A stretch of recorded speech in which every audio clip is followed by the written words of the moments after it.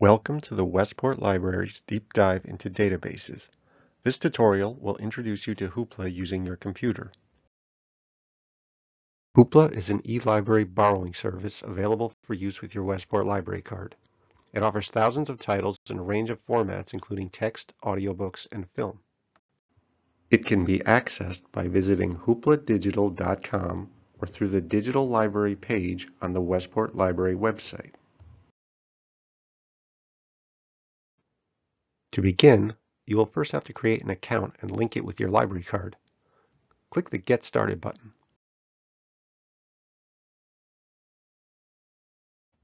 And then click Let's Go to begin registration. You will be asked to select your library. If it does not appear on the provided list, type Westport Library into the search bar and it should come up in the search results. Click on it. Once your library is selected, you will be prompted for your library card number and PIN. The default PIN is the last four digits of your phone number.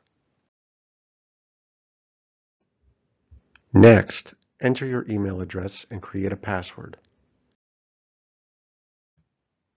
Finally, click Complete Registration. Once you're registered, anytime you return to Hoopla, you will be brought back to the My Hoopla page. This is a home page with quick links for you. It contains info on titles you are currently borrowing, the number of remaining titles you can borrow this month, as well as recommendations for other books.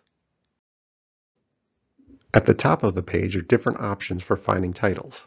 You can click Browse to peruse different formats or use the search bar to find a specific title.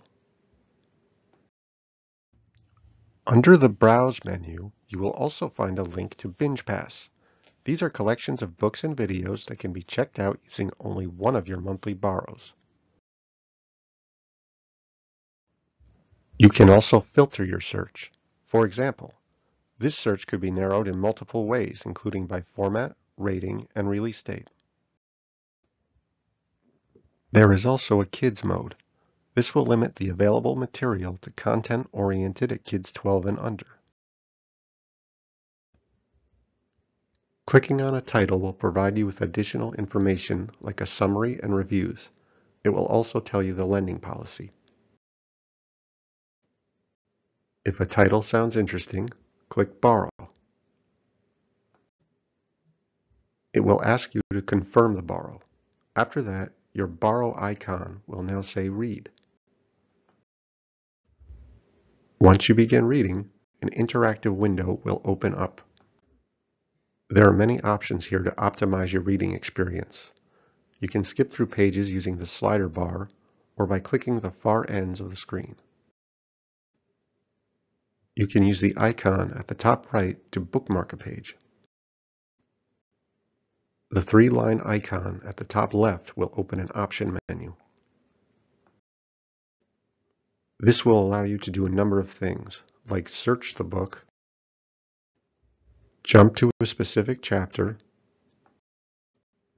or adjust settings like text size and line spacing.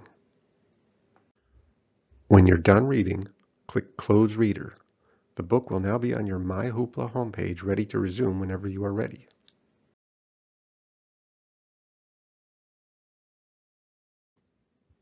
Now you should have the skills necessary to get started with Hoopla. If you need additional assistance, help is available at the Westport Library or by emailing our reference department at ref at westportlibrary.org.